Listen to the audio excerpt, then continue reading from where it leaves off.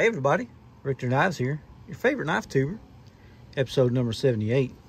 Today we're going to have a look at this 56 GEC. I don't know how to say it, Rosewood. And we've got the Lord's Drink. It's been about 12 days since I made a video because the guy's busier than a three-tailed cat. Got the leather work, got the full-time job, all the stuff. But we're going to get into it. And uh, we're gonna make a good video. Let me take a drink of this. Ready? One, two, seven. Mm-mm-mm. It burned. That's good. Let's check it out. Okay, before we check out the knife, let's check out the tube. This is what she says. 562123 EO. The EO stands for easy open. I don't know if that's Chichen. Chichen. Rosewood, you know what I'm saying. Northfield Unexcelled. This is the fancy schmancy version. Premium hand tested.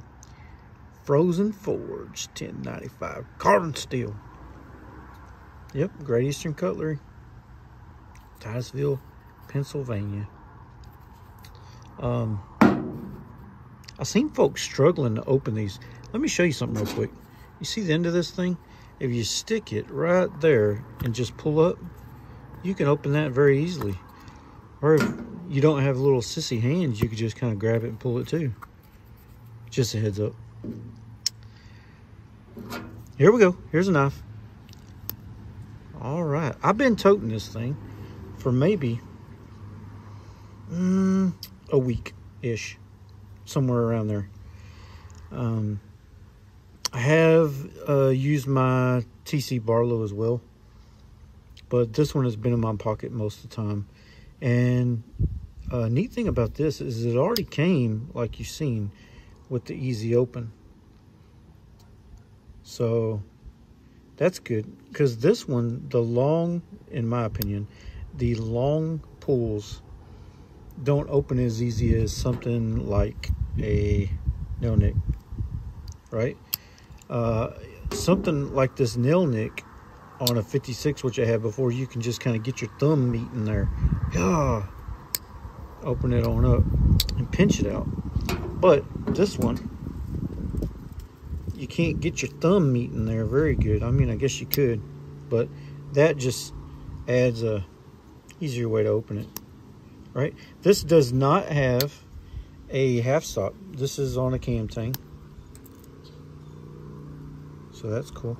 It's got an itch you can barely see now. See it right there? Northfield Unexcelled. And that's pretty good. Y'all excuse the wind. The sound's probably terrible. But she's windy out here today. You can see where my thumbs have kind of wore the tiners off from opening it. See? Right there. Kind of like in a circle pattern where my thumb is. She's got the switch. Spear point blade. Let's look at the, uh, here we go, the stamp. Northfield Unexcelled, Titusville, PA. Nice. This side has your model number in GEC. And I think it says CAR or carbon underneath there. Or carbon steel. As you can see, she's got the tiners, All of them. And uh, it came duller than a spoon. But I took care of that. She's sticky now. Fruit roll-up sticky. Mm-hmm. Cherry flavor. And it's got the cloud shield, which I've never, I don't think I've ever owned a cloud shield before. But I want you to take a look at this wood right here. The chin chin chin chin chin rosewood. This is beautiful. Look at the grain up in that dude with the brass. This is just fancy. A bit of fluting on the bolsters. A little bit of pinching on the bolsters. Boop. She's bareheaded too, if you can see that. No cap. Centered strike right down the middle. Uh, let's do some size comparisons. Boop. Okay. Oh, y'all hear gunshots? Duck. Duck and run. All right. this is the 85 Beaver. And it's a little bigger. You can see that, that uh, blade is a whole lot bigger. Oh, another gunshot. Um, this is the 15, I just showed you a while ago. 15 pattern, boy's knife. Huckleberry boy's knife. That's pretty close. It's a little longer. And ye old Case sway back. Mm hmm So there's your comparisons. Um, I like this knife. This is really cool knife. I love the way it looks. I like the size of it. It's just a great second. What kind of creature are you? I don't know. A great second pocket knife, you know. Secondary pocket knife.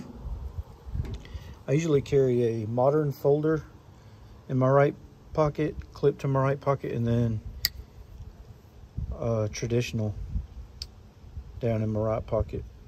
Most of the time with a slip. I love the brass on this thing. I love the way this looks. Uh, I don't care that it doesn't have a half stop. I really like this. Actually, my very first GEC was a, a number 56. It was the brown mustard flavor, right? This one looks very cool though. Lord's drink break. Hold on. Mm-mm-mm. All that yakking makes my throat dry. Love this knife. It's a good carry.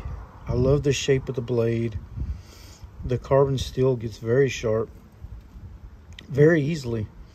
I put a I put it to a Work Sharp uh, field sharpener. That's all it needed. Didn't even use the coarse side diamond. Uh, that puts a 20 degree edge on it. So, you know, it's not got this big honking shiny bevel on it, but it's sharp, I promise you.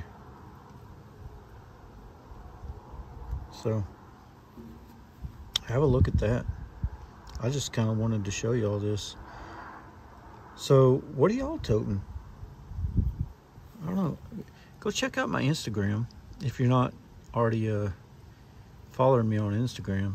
I post a lot more on Instagram than I do on YouTube the YouTube, I just kind of use them hand in hand together. Uh, Instagram and YouTube. Just because I like to post pictures and I think the reels are a whole lot easier on Instagram. Or are they even called reels? Or are they called shorts? I don't know. I just work here. Anywho. One more look around this knife. Yep. Look right here, man. Right here. It's like your finger belongs there. Love it. All right. Put down in the comments what you think about this knife. Also, don't forget to follow me on Instagram, like I said. Uh, subscribe to my YouTube channel. It's that little red button down there. Like it. All the good stuff. And don't forget to tell your friends. Tell your girlfriend, tell your crush, tell your mom and them, tell your barber about Richter knives. And this is Richter 56